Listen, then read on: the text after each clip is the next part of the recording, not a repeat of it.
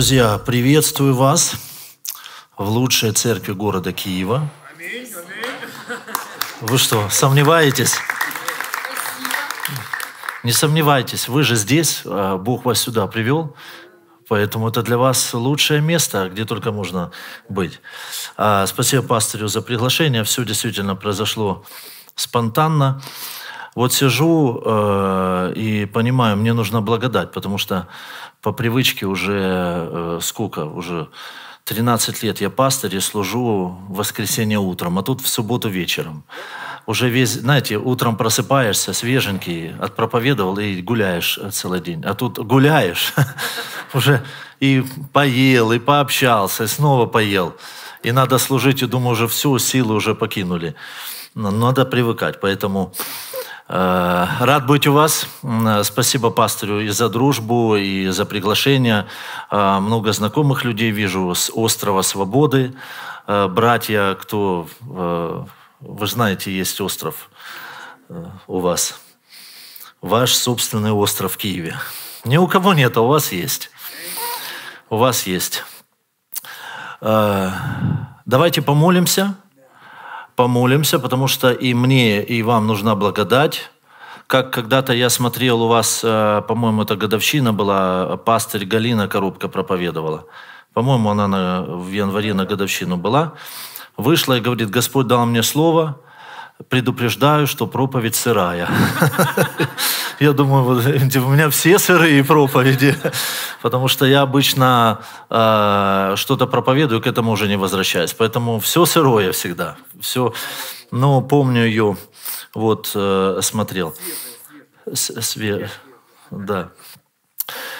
Господь, мы благодарим Тебя за церковь, мы благодарим Тебя за семью, мы благодарим Тебя за то, что мы можем быть частью а, частью семьи и быть в том месте, где сегодня есть твое присутствие, где ты проявляешь себя, куда ты приходишь, чтобы являть свою славу, чтобы приносить благословение нам, твоим детям. И мы просим Тебя, чтобы Ты, Святой Дух, а, служил нам, служил через нашу немощь, и через мою немощь говорить, через немощь нашу слушать и принимать. Мы хотим слышать и принимать хлеб жизни – мы благодарны Тебе за то, что Ты здесь. Прикоснись сегодня к нам. Помоги нам увидеть истину, помоги нам увидеть Тебя, Твои пути, чтобы мы выровняли сердце наше, чтобы мы выровнялись, Господь, и заняли духовно то место, где Ты желаешь нас видеть, и где мы сможем принять максимально, максимум Твоих благословений, которые Ты приготовил для нас. Благослови эту церковь, Господь. Аминь. Аминь. А, друзья, я начну, у меня будет несколько пунктов а, сегодня. А, начну с того, что я убежден и уверен, что Господь приготовил для своих детей благословение. Он желает нас благословлять. Он Бог благой, Он Бог добрый, Он не безразличен к нашим нуждам, к нашей жизни. Он вникает в нашу жизнь, участвует в ней, понимаем мы это или нет, заинтересован в нас, в нашем будущем. Сколько бы ни осталось у нас дней на земле, для Бога каждый день важен, и Он хочет, чтобы в каждом дне мы имели радость в нем. Радость и видели, что у нас есть Отец Небесный, Он с нами. Но в Писании мы знаем также, друзья, что мы должны играть по Божьим правилам, чтобы переживать Его благословение, не по нашим. И в Писании мы видим, что есть определенные позиции, позиции сердца. Я сейчас говорю о сердце. Если мы приходим в эту точку, в это место, а, мы сможем переживать его благословение в полноте. Есть места в, или отношения нашего сердца такие, которые мешают нам принимать от Бога. И даже мы понимаем, что кровь Христа заплатила за все благословения, Господь обеспечил их. Но есть такое понятие, как принятие. Есть такое понятие, как наша часть, наше принятие. Без этого никак, друзья. Конечно же, Бог много делает вне нас, без нас. Но давайте так. Э, если можно разбить благословение на две части, есть благословения, которые приходят просто потому, что Бог так решил. И они приходят и к неверующим людям – Библия говорит, Бог благ неблагодарным и к злым. Бог э, в этом понятии Бог любит всех. Когда люди говорят, что Бог любит всех, безусловно, нужно правильно понимать, о чем мы говорим. А, когда, если мы говорим о Его благости, которая распространяется на все Его творение, то, безусловно, да. Но в, в большинстве случаев, когда верующие используют слово, что Бог любит нас, безусловно, в понятие любви они вкладывают идею благоволения, что Бог активно благоволит к нам. Так вот, Бог не благоволит ко всем людям одинаково. А, благ в плане а, заботы о своем творении, да, безусловно, ко всем а благоволить нет. И поэтому Писание очень четко говорит, что Писание открывает для нас вот, вот эти вот места, где мы можем оказаться духовно, где мы будем принимать Его, чувствовать Его близость, принимать Его благословение. И вот на эту тему я хотел бы сегодня с вами поговорить, об одном таком месте. Проповедь я назвал, назвал свою так, и всю проповедь я поговорю об этом. Опасность самоправедности – опасность э, самоправедности. Я убежден, друзья, в одной вещи сегодня очень сильно, и по Писанию вам докажу это, что если нам удастся разрушить в себе самоправедность, мы, мы переживем безграничное Божье благословение. Мы переживем безмерно Его благодать в нашей жизни. Если мы не сможем сломать это в себе Духом Святым, если мы не сможем победить это, друзья, мы очень ограниченно примем Божью порцию Его благоволения в нашей жизни. Я хотел бы предложить всего лишь один текст сегодня. Мы посмотрим всего лишь на один отрывок в Новом Завете, и всю проповедь мы окунемся в его и в него и посмотрим, о чем здесь Иисус говорит. Евангелие от Луки, 18 глава. «Э, ничего нового вы не услышите сегодня, но э, послужу служением Петра. Помните, как Петр сказал? Я напоминанием возбуждаю ваш чистый смысл. Иногда нам не нужно что-то новое слышать. Если бы все работало, то, что мы знаем в нашей жизни в полноте, мы бы были счастливые люди. Поэтому пусть сегодня будет мое служение как напоминание возбуждать ваш смысл к тому, что вы уже слышали и знали. Так Лука, 18 глава, с 9 стиха. «Сказал также к некоторым, которые уверены были о себе, что они праведны, и уничижали других. Следующую притчу. Два человека вошли в храм помолиться. Один фарисей, а другой мытарь. Фарисей, став молиться сам в себе так, «Боже, благодарю Тебя, что я не таков, как прочие люди, грабители, обидчики, прелюбодеи или как этот мытарь.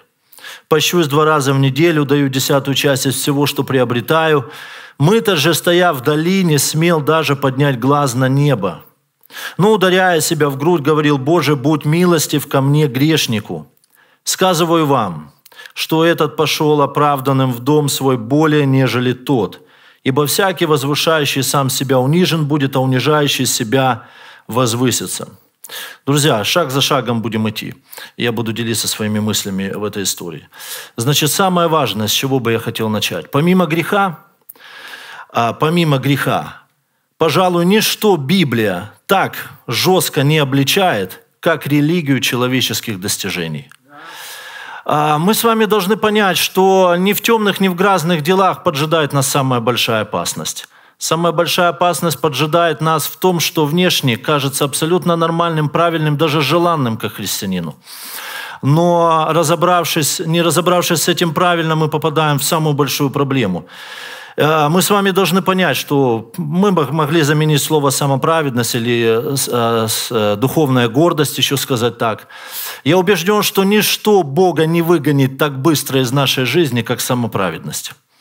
Ничто. Ведь Писание четко говорит, что есть категория людей, которых, которым Бог противится. И это гордые люди, вы помните, да? Смиренным Он дает благодать, а гордым Он что делает?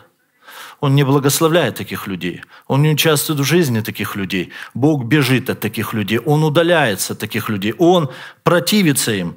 И очень важно обнаружить внимание, что вы не обнаружите много писаний в Новом Завете, где сказано, что Бог противится блудницам, Бог противится а, убийцам, Бог противится гневливым людям. Да, Бог ненавидит грех. Но не каждая категория описана так, как описана категория самоправедных людей. Писание говорит, что Бог противится им. Он алчущих исполняет благо, а богатящихся отпускает ни с чем. Вы только представьте состояние. Вы молитесь, вы ищете лицо Божье, вы жертвуете, вы э, в религиозную какую-то деятельность вовлекаетесь, э, внешне правильную. Вроде бы ожидаете результата, а уходите ни с чем. Казалось бы, с Богом должна быть встреча, должен обрести благословение, ответ на молитву, а Бог отпускает ни с чем богатящихся людей. И я уверен, что благословения, они связаны и в духе, и в душе, в теле, они связаны, друзья, с способностью разрушать самоправедность в нашем сердце, в нашей жизни. Если это будет происходить, друзья, благословения, я уверен, они станут легкой вещью в нашей жизни – они не станут сложными. На самом деле за них не нужно будет бороться и сражаться, э, землю зубами грызть. Нет, они тебя будут настигать, потому что Бог дает, Бог сам будет тебя одаривать этим всем. Так, э, друзья, что бы я хотел сказать? В этой притче у нас два главных героя – фарисей и мытарь. А, ну, давайте несколько слов скажем о, о том, кто такие фарисеи, кто такие мытари, а потом войдем в, саму историю, что же здесь происходило. Так, два героя – фарисей и мытарь. Начнем, друзья, с мытаря. Ну, мытарь – это слово используется в Новом Завете часто. Иисус использует его в этой истории. Вот сегодня пастор Владимир говорил, что да будет такой человек, помните, говоря о псалме, как, как грешник и мытарь. Да? Если брат не кается, а, не исправляется после обличений, да будет он тебе как грешник и как мытарь. То есть слово «мытарь», оно не случайно встречается в Библии. Кто такие мытари? Это были самые ненавистные люди в израильском народе, самые ненавистные. Почему? Потому что эти люди работали на оккупантов римлян, и они из-за любви к деньгам стяжали с людей налоги, да, они, и их стремление было собрать так много, что чем больше я соберу, тем больше останется мне. И они попирали абсолютно все ценности, национальные, семейные, религиозные. Для них ничего не существовало важнее наживы. Они работали на тех, кто оббирал народ. Их ненавидели, этих людей. Больше всех. Ненавидели больше убийц, больше грабителей. Мытарь, если вы мытарь, вы пожизненно изгой в этом обществе. Вот Иисус использует э, такого человека. Хотел бы сразу вам сказать, что вот сегодня пастор Владимир использовал э, таких людей, как гаишники, да, гаишники, судьи. Э, это все сюда. Судьи, гаишники, да, э, полицейские, там, милиция, депутаты, все, кто наживаются на вас – попирают все, все здесь, все в этом слове в мытарь. Все, кого мы любим очень сильно, все здесь. А второй герой – фарисей. Кто такой фарисей? Так, Иисус называл их книжники и фарисеи, да? Ну, на самом деле, не всегда это было плохо, потому что есть такая книга в Библии Ездры, помните? Книжник, он был книжник Ездра. Ну, кто были такие книжники? Это были люди, а, в основном, раньше они э, выходили из высших сословий общества израильского, из левитов они происходили. Но потом, во времена уже Христа, это люди, которые в основном были из народа. Садукеи – это были люди, которые представляли элиту общества, а фарисеи – это были люди из народа. С чем занимались книжники? Вначале они просто переписывали закон, а, учили закону, переписывали его, и э, все, что, вся деятельность, которая была связана с законом, с книгами, они этим занимались. Также преподавали в храме. Но ко, времен, ко временам Иисуса Христа это люди, которые была такая вот, знаете, э, прослойка в израильском обществе фарисеи. Фарисеи, которые, если можно было спросить в то время, э, покажи мне набожного человека или самого религиозного человека, люди не задумывались, они четко понимали, кто это – они четко... Теперь, садукеи важно понимать, что они были такие либералы.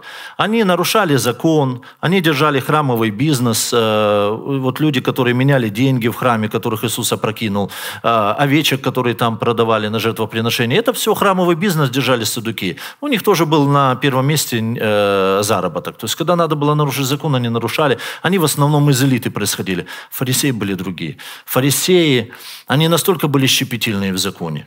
Они все были обвязаны надписями с законом. Они были святыми, неприступными в своих глазах. Они были мега самыми религиозными, набожными людьми того времени, друзья, это, это очень э, важно понимать, что они были э, глубоко убеждены вот в чем, что Бог буквально обязан их благословлять. Он обязан им, у него нет других вариантов, как нас благословить. Только из-за того, что мы семя Авраамова, мы фарисеи, мы законники, у Бога не остается никакого варианта, как почтить мою саможертвенность, да, праведность и так далее. Бог не может быть недоволен ихними заслугами. Просто не может быть недоволен. Вот у них было такое понимание. Более того, у евреев была пословица такая, если есть два человека, которые войдут в небо, то один будет книжник, а другой фарисей. То есть они даже Садукею не отдавали второго места. Да? Это из разряда, если есть на земле два праведника, я один из них. Это отсюда идет, тоже так э, э, говорят сегодня. Так вот, у них была такая пословица. Они понимали, если есть кто, кто первый войдет в Царство Божие, ради кого придет Мессия и кем он будет доволен, это, это мы. Никогда в Израиле, я повторю, не существовало группы людей, столь преданных требовательному моральному кодексу, и столь, с другой стороны, далекими от Бога. Друзья, важно что понимать? Важно понимать, что Иисус в этой притче использует два полярных вот таких вот состояния, как э, север и юг, плюс и минус. Он берет самого э, падшего ненавистного человека, и он берет, с одной стороны, самого уважаемого в обществе и делает вердикт, который повергает людей в то время в шок. Он говорит, мытарь намного лучшем состоянии, чем вот этот набожный фарисей. Вот, друзья, сегодня мы вот смотрим о церкви, нам кажется, ушел какой-то брат или сестра в отступничество, впал в грех, да, мы узнали, чем такими делами плохими, темными занимается. И нам кажется, ничего нет хуже, чем быть отступником, уйти от церкви, проклинать церковь или вообще грешить, там, быть от, вне тела. Друзья, нет, согласно Христа, намного хуже – продолжать посещать церковь, никуда не уходить, не заморачиваться в грех, но довольствоваться формализмом, формой, прийти в состояние самоправедности, гордости до той степени, что ты просто уже не замечаешь людей, ты унижаешь других людей. Есть намного худшее состояние, чем отступничество, потому что Богу намного, Христос намного легче достигал убийц, разбойников, все отбросы общества, да, но Он тратил колоссальные колоссальное время и усилия, чтобы достигать фарисеев. И он там терпел постоянно неудачу. Друзья, нет другой категории людей в служении Христа, о котором Иисус бы говорил, горе вам, лицемеры. Нету других. Он никогда этими словами не обратился к грешнику, к убийце, к прелюбодею. Даже к садукеям так не сказано. Даже к садукеям, которые на церкви деньги делали, он никогда не сказал горе вам, а этим красавцам – Неоднократно, семь раз говорил, только в одной главе «Горе вам». Вы представьте. Более того, Иисуса называют друг мытарей и грешников. Как Иисуса называют? О, друг мытарей и грешников. Вы нигде не встретите, чтобы его называли друг фарисеев. Друзья, он был близок вот к той категории людей, но был очень далек потому что он не мог приблизиться к ним ближе, чем, а, чем вот а, к этим людям – Никого он так жестко не укорял, как укорял эту категорию людей.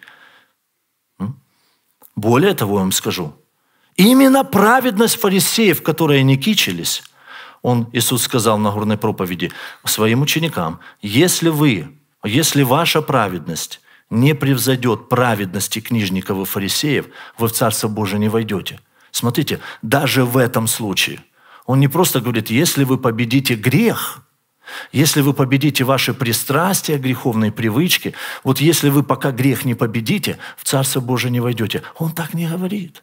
Он говорит, если вы не превзойдете праведности, праведности, что на самом деле есть лжеправедность, книжников и фарисеев, в Царствие Божие вход закрыт. А они туда не входят, и они вас туда не пустят. Иисус очень жесткие вещи говорил к ним. Он говорил, они производят сынов детей гиены, они не входят в Царствие Божие, они делают людей худшим себя, они умножают меру грехов отцов своих. Не так, таких жестких вещей и проклятий, и а, а, ни один грешник не услышал свой адрес. А самые набожные религиозные люди услышали. А, и вот в друзья, вот наша притча – Я сегодня хотел бы поговорить, давайте окунемся сейчас в этот рассказ, в эту притчу и посмотрим. Э, я вам дам четыре, хочу дать быстро четыре пункта, что уроки, что э, делает самоправедность в нашей жизни. Э, можно мне телефон мой? Я просто... Да, спасибо. Нет, не закрылась, я просто открою. Это, друзья, мы сейчас подходим к этой истории, мы сейчас в нее посмотрим. Это я вам рассказываю с кем мы в этой истории имеем дело, кто эти за люди, и как жестко оказаться фарисеем современным. Для грешников всегда есть шанс, для, ну, для всех есть шанс в покаянии, но намного больше есть шанс для того, кто во грехе. Он понимает, что он сломлен, он разбит, он понимает, что э, ему кто-то должен помочь. Но не дай Бог нам оказаться на стороне этих людей. Иисус многим из них не помог. И это уже, это уже сам по себе этот факт должен, должен э, э, привлечь наше внимание. Сейчас я открою, э, я прошу прощения, я открою э, саму, сам этот текст, потому что, знаете, э, итак, номер один – самоправедность или духовная гордость. А почему духовная гордость? Потому что это гордость из-за своих духовных и религиозных достижений. Потому что есть гордость, когда у человека деньги, есть позиция, а, человек гордится внешними вещами, гордится человек может красотой своей, а, своей семьей, откуда он произошел, родословной, чем угодно. Но есть гордость, которая приходит из-за твоих духовных свершений и достижений. А я хочу вам сказать сразу, друзья, а, не, не, не просто грех нужно, не просто греха нужно бояться, чего такого явного, открытого греха бояться и бежать от него. Друзья, нужно бояться хороших дел, которые ты себе в заслугу записываешь. Потому что именно там тебя ждет самая большая опасность. Я убежден, что это путь, это, это инструмент дьявола, как он сегодня отдаляет детей Божьих от Бога. Ничего. Просто ты, ты служишь. Ты служишь еще больше, годами, годами, у тебя все еще больше религиозной деятельности, больше постов, больше молитв, больше жертвы. Но как раз в этом всем, друзья, и подстерегает нас самая большая опасность, а не в каком-то явном, открытом э, грехе. Итак, номер один. Самоправедность или духовная гордость рождает ложную самоуверенность. Первое, что это сделает с нами, рождает ложную самоуверенность. Смотрите, как сказано. «Сказал также к некоторым, которые были уверены о себе». Это он обращается к уверенным людям, что они праведны. Итак, а, у нас есть такие понятия, как самоуверенность и как вера – Внешне, друзья, и то, и другое имеет действие. Внешне этих два э, человека, допустим, да, праведные и самоуверенные, могут говорить одинаковые слова, могут э, одинаковые действия иметь, но они принадлежат разным мирам. У них разное основание, у них разная точка отсчета. Один опирается на Бога, который верит, а другой опирается на свою собственную значимость, на свою собственную силу и мудрость. Вера и самоуверенность Одно очень опасно для нашей жизни, а другое крайне необходимо. Одно нежелательно, а другое нужно нам. К одному нужно прийти, а от другого нужно уйти. И вот самоправедность, она рождает вот эту вот ослепляет человека и делает, рождает эту ложную самоуверенность, какая была у фарисеев. Они были уверены о себе, уверены в том, что все с ними в порядке. Вы знаете, а, они ведут, они принадлежат разным категориям, ведут, конечно же, к разным результатам. К разным результатам. к великому сожалению, даже верующие могут э, в своей жизни действовать либо в вере, либо в самоуверенности. Вспомните Петра. Петр – яркий пример самоуверенного человека, который сказал Христу, «Если кто-то от тебя отречется, то не я. Я никогда». И что происходит еще день, еще день не закончился? Что произошло? Он, произош... он трижды отрекается от Христа. Человек был очень уверен. Он думал о себе лучше, чем другие. Я более смелый, чем другие. Я более сильный. Я более мудрый. Я разобрался, кто есть Мессия, а кто нет, кто скала, а кто... Я разобрал. Я, если они все... Понимаете, это человек, который уже в своих глазах себя превознес то, на то место, где он не видел рядом никого другого. Если все от тебя отрекутся, только не я. И именно он это и делает. Друзья, это картина самоуверенного человека. Это ложная уверенность. И это ничего не имеет общего с верой. Сегодня есть люди, которые, среди верующих могут быть люди, которые говорят, мы это сделаем, мы то сделаем, мы всех порвем, мы всем покажем, всем докажем. И, казалось бы, так человек задвигает, кажется, вот это вера, вот это великан веры. А это может быть просто плоская бравада и самоуверенность, ничем не подкрепленная. И таких людей э, один за одним ждут провалы, трагедии. Вроде бы, вроде бы все так стоял сильно.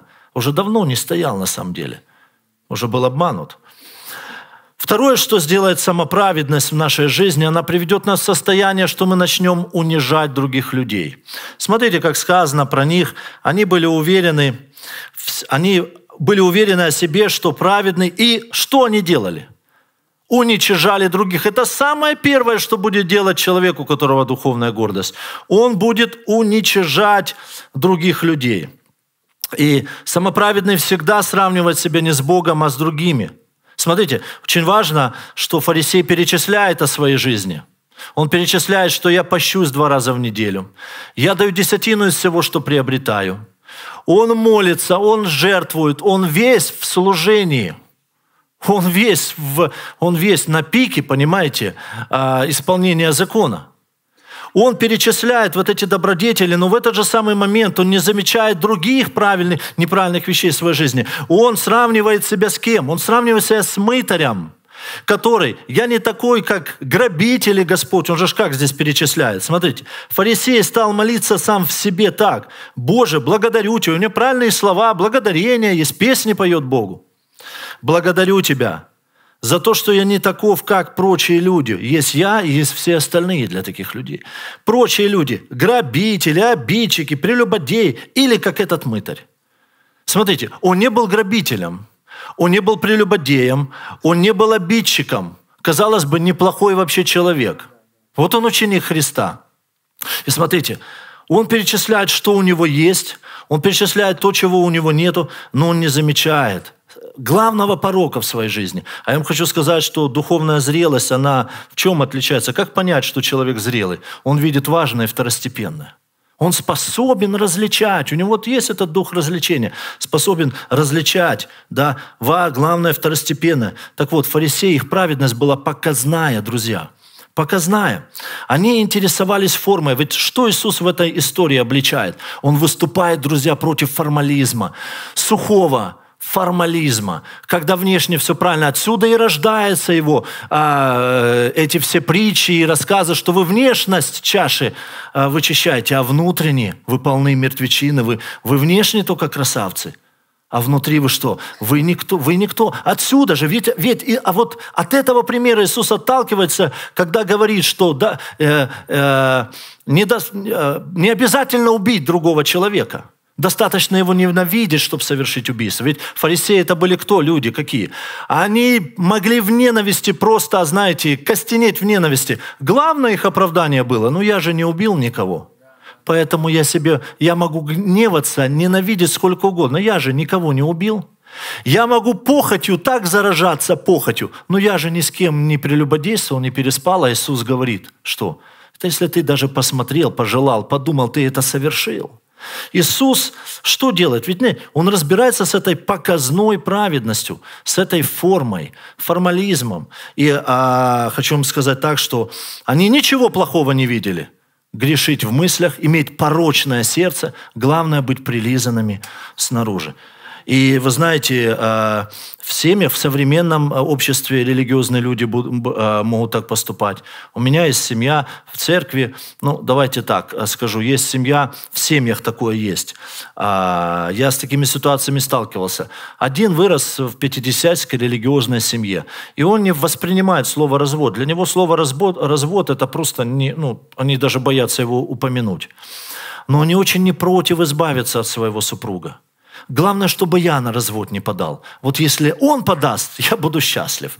Но главное, чтобы не подал я, потому что если я, то развод, Бог против развода. А то, что ты своими руками или чужими руками развод делаешь, ведешь себя так в семье, специально создавая такие условия, чтобы супруг тебя бросил, ты чисто из воды выходишь, тебе не придраться, не ты развелся, но ты все сделал для того, чтобы развестись. Друзья, я недавно общался, ладно, я общался с, такой, с таким человеком недавно, и я ему говорю, слушай, а, намного, намного будет правильнее и честнее, если ты не хочешь с ним жить, разведись. Чем? А, лукавить, говорить, что ты против развода, но все делать так, чтобы все потом повесить на него обвинить. Это, говорю, намного больший грех. Намного больший грех, и Бог все видит. Это лукавство. Будь честным. Вы знаете, а, это современное фарисейство. Дальше Иисус потом, знаете, в Нагорной проповеди о чем говорит? Он говорит о добродетели, которая совершается неверно. Все отталкиваясь от этих ребят, от фарисеев. Помните, он говорит о молитве, о жертве, о милостыне, о посте. Если ты делаешь так, чтобы видели тебя люди, грош цена. Грош цена этой жертве, служению, молитве. Делай в тайне, чтобы видел Бог. Ну, о тайном никто не заботился. Заботились только о том, чтобы видели их люди. Ведь фарисеи любили председания в народных собраниях. А помните, что сказал Иисус, кстати, в Евангелии от Луки? Вот подумайте над этой фразой. Просто задумайтесь над ней. Он, общаясь с фарисеями, говорит такую вещь. «Как вы можете веровать, когда вы друг от друга принимаете славу, а славы, которые от единого Бога, не ищете?» Вы просто вздумайтесь. Для Иисуса невозможно быть верующим человеком и принимать друг, искать славы человеческой. Для него быть верующим – это искать славы только от Бога. Как вы можете веровать? Вера невозможно, если ты не ищешь славы Божьей, а друг от друга только принимаете славу. Как? Он задает вопрос этим людям, которые считали себя верующими людьми. Задумайтесь, там есть над чем э, поразмышлять. Третье, что сделает самоправедность. Самоправедность или духовная, духовная гордость присваивает себе все духовные достижения. А, вы знаете, фарисей как в копилочку складывает в свои добродетели посты, жертву, молитва. У него позиция в молитве следующая. Бог, ты должен мне – ты посмотри, как я живу. Ты мне должен. Я не такой, как прочие люди. Я выше других. Моя набожность лучше, чем набожность других людей. Ты должен мне. У него позиция заслуг, друзья. Вот почему нужно не только бояться греха, а бояться присваивать себе свои духовные подвиги, молитвы, заслуги – Потому что это все сделает тебя гордым. Вы знаете, пятидесятники э, обвиняют, э, уничижают баптистов, у, у них того нету. Баптисты говорят, а у них нет такой святости, как есть у нас. А харизматы говорят, а у них нет такой свободы и радости, как, как, которой у нас у баптистов. Каждая деноминация может кичиться и хвалиться. Любыми вещами, абсолютно. Одни молитвами, другие социальной работой. Мы, как церковь, ни, ни одна церковь не делает столько социальной работы, столько конференций, программ, ни у кого столько людей не спасается, как у нас. И тому подобное. И перечисляешь, перечисляешь, перечисляешь. И надо еще просто добавить. Мы не такие, как все прочие церкви в этом городе. Мы не такие, как все прочие. У нас намного всего больше. А? И круче, и круче. А, и смотрите – мы же забываем с вами, что наша праведность – это вмененная праведность. Ведь Иисус говорит, что мы должны превзойти праведность фарисеев. Их праведность – это была их сконструированная праведность, посвящение закону. Они ее складировали, собирали. Вот как Вавилонскую башню строили в сердце своем. Как Вавилонская башня строилась? Как люди сказали? «Сделаем себе имя» построим башню, сделаем себе имя. Эти люди кирпичик за кирпичиком складывают в своем сердце свои добродетели, достижения, заслуги, сами не понимая, что имя хотят себе сделать. Эту Вавилонскую башню строят в себе, которую потом что с ней сделал Господь? Разрушил. Готовят себя люди. Друзья, если вы, если мы начинаем присваивать себе духовный рост, благодать, дары, заслуги в служении. Я столько лет ни, ни разу в церковь не пропустил, я никогда не был ни одного дня в отступничестве, греха не знал, телек не смотрел и тому подобное. Ты начинаешь это все складировать, ты готовишь себя к разрушению, типа, ты готовишь сам себя к разрушению. Ты, ты созидаешь свое будущее таким образом, разрушенное будущее. Ты присваиваешь это себе. А наша праведность во Христе. Но часто мы забываем вот эту приставку во Христе. Мы только раз праведность и ходим, и знаете, а, я праведный, я герой, я такой-такой. Вначале забываешь добывать, добавлять во Христе, во Христе. Мы искуплены во Христе, прощены во Христе, мир имеем во Христе, радость в Господе, а, жизнь во Христе. Сначала забываешь добавлять во Христе, потом вообще забываешь про Христа. И потом только ходишь и думаешь, я такой просто крутой, праведный. Друзья, мы должны не забывать, что праведность, она вмененная нам. Она никогда наша не была, она нам вменена. Мы праведны лишь потому, что Христос нас такими... Он есть праведность наша, Он ее нам вменил, поэтому я, я могу называть себя таким. Но я-то знаю источник ее, откуда ноги растут. Вы понимаете? А, и так не только с праведностью, так со всем. Так вот, самоправедные люди, они приходят к Богу с позиции заслуг. А, и вы знаете как, а, я вам кое-что хочу сказать. Вы знаете, а, нужно научиться приходить... Вот вот что я вижу в последние годы своей жизни, несколько лет? Я вижу, что, вы знаете, на заре христианства были научены власть верующего. Пойди, возьми, получи, выпиши и э, забери, сними, сними и тому подобное. Но знаете, я намного больше вижу Божьих чудес, ответов на молитву, его действует в своей жизни, в жизни других людей, за которых молюсь, когда молюсь, опираясь на милость Божью, а не качая свои права. Ведь как мытарь молится, друзья, «Господи, будь милостив ко мне, грешнику». Он приходит к Богу с пустыми руками. Принести ведь нечего, грехи одни, принести нечего. И что он говорит? «Будь милостив ко мне».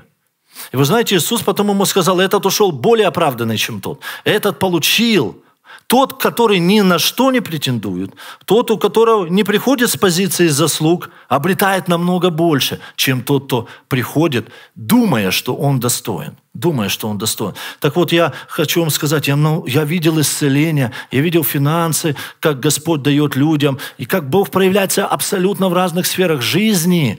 Когда ты молишься, говоришь, Господь, будь милостив к этому человеку. Яви свою милость. Больной человек молится, яви милосердие свое ему. Ведь помните, Библия говорит, по милости его мы не исчезли. Ни по праведности, ни по моему служению я не исчез. Я не исчез потому, как я научился круто использовать власть верующего. Поэтому, по моему умению задействовать власть верующего, имя Иисуса я не исчез. Нет, по милости мы Твоей не исчезли. Его милость обновляется с каждым утром для нас – его милосердие не истощается. В этом он... Мы, вы знаете, изо дня в день живем Его милостью. Вот когда мы приходим к Богу правильно, правильно, нет, есть место власти верующего и так далее, но когда мы понимаем, что, Господи, ну, если уже говорить о чем, на что я претендую, так я ни на что не могу претендовать. На погибель я претендовал. А если могу что-то от тебя ожидать, только благодаря крови твоей, то, что ты соизволил, ты благоволил, ты добр – Потому что ты добр, ты по милости мне дал. Ведь помните, это притча о милосердии Божьем, когда пахали люди 11 часов и думали, что получат больше, чем те, кто в винограднике отработал один час. Помните? А Господь одинаково со всеми рассчитался. Что произошло с фарисеями, с, самопра... с теми, кто работал 11, больше всех мы трудились, работали. Они стали негодовать на тех, кто работал меньше, а получил столько же. Они пришли к нему и сказали, ты должен нам больше. А он им сказал, я вам должен именно то, что я сказал. Вы что, злые, потому что я добр? Ведь видите, если, послушайте такую вещь, если вы хотите максимум от Бога получить, не за 11 часов работы, а проработать час, а получить как 11, то это может произойти только потому, что Бог добр, только потому, что Он добр и милостив, а не потому, что ты отпахал, руки порезал, все, в винограднике все собрал, и поэтому он, ты подумал, что Он тебе должен больше, чем другим. Ты ошибаешься. Это не Евангелие. А вообще, что на самом деле вот Иисус же о чем говорит? Возвышающий сам себя унижен будет, а унижающий себя возвысится. Ведь возвышение возвышению рост, друзья. Возвышение, у возвышения может быть разная природа. Может Бог возвышать, а можешь ты сам себя продвигать и возвышать. Одно легко, другое, ох, как тяжело дается. И вы знаете, а вообще, что такое самоправедность? Я уже заканчивать буду, а не сказал. Знаете, это когда человек уверен в своем нравственном превосходстве – Самоправедность – это уверенность в своем нравственном превосходстве. И человек утверждается, еще раз, в своих делах и, и так далее, и так далее, и так далее. На самом деле это ничто так не отдаляет человека от Бога, как это состояние. Ничто застилает человеку глаза, и он живет в иллюзии близости с Богом. Теперь последнее. Самоправедность оставит тебя ни с чем в жизни – это урок этой истории. Иисус сказал, после того, как все помолились, совершили духовный ритуал, что тот, который ни на что не претендовал, мытарь, который изгой, о котором все думали плохо, ему только, по нему только тюрьма плачет. Он ушел намного с большим благословением, более оправданным. Теперь подумайте э, два слова. Что значит для, в то время для человека быть оправданным Богом? Быть оправданным Богом – это означает, что Бог дает свое одобрение тебе, а с, оправ... с оправданием свое благоволение и благословение. Свое благоволение и благословение. И тот, кто думает, что Бог ему обязан благословение, уходит без него. А тот, кто говорит, занимает такую позицию, «Господи, я на что могу рассчитывать? Все от руки Твоей». Он уходит намного... Знаете, от встречи с Богом люди получают по-разному – вот встреча с Богом, они оба обращаются к Богу, а получают по-разному. Это резюме от Христа. Один получает больше, чем другой. И тот, кто, получ... кто претендует на большее, получает меньше. А тот, кто ни на что не претендует, получает полноту благословений. Потому что приходят с позиции «Господь, помилуй меня». Один священник сказал так. «А, «Иногда человеку кажется, что он парит, а он летит в свободном падении». Знаете, есть такое состояние. Кажется, ты паришь. Просто, просто пруха. Все, ты паришь. Но это ты не паришь. Ты уже падаешь в свободном падении. Вот ты думаешь, вот эти крылья самоправедности своих достижений расправил, и тебе кажется, ты просто как герой. А ты летишь вниз с огромной-огромной скоростью. Тебе кажется, вот, вот это парю. Нет, ты летишь. Летишь для одной простой вещи. Если не милость Божия, чтобы разбиться внизу летишь, чтобы разбиться, друзья. И вот знаете, когда, э, наша, когда мы о себе так думаем, когда мы на, начинаем думать о нашей церкви, что это... Э, я сказал уже, что вы хорошая церковь, лучшая. Но давайте так. Э, э, вы должны так это воспринять. В одно ухо вошло, в другое вышло. Помните, как Чарльз Перджин говорил – а каждый должен иметь два уха. Одно глухое, а другое слышащее. И два глаза. Один слепой, а другой зрячий. Помните? Нет? Я вам расскажу для чего. Значит, что сделать а, с глухим ухом? Когда тебя хвалят, подставляй глухое ухо. А когда тебя поносят слышащее, а с глаз слепой, а, а, когда ты хочешь заметить грехи, недостатки других людей, как фарисей мытарь, используй слепой глаз, чтобы не видеть а зрячий используют, чтобы на себя смотреть. Поэтому, друзья, а, а, что хочу сказать. Давайте вот так, абстрагируясь от вашей церкви, от нашей. Значит, если мы начинаем думать, мое служение превосходное, у нас самая лучшая церковь, мы делаем больше остальных, все происходит больше, больше и больше, и что бы ты там ни перечислял, знаете, что начинает происходить? Бог тихо начинает уходить из этой церкви. Тихо покидать ее. Ему больше нет места, в, ему нет места среди этих гордецов, гордивых людей.